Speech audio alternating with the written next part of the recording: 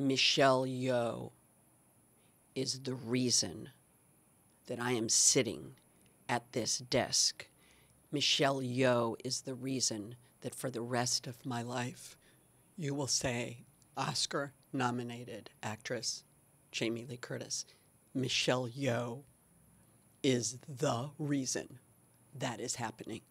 Because when my agent called me and said, Jam, there's this movie, the Daniels, I knew the Daniels. Um, and he said it stars Michelle Yeoh and you would play her nemesis. And I said, I'll do it. He said, Well, no, no, Jamie, you need to read this. It's out there a little. I said, I'll do it. No one is having a better time than Michelle Yeoh.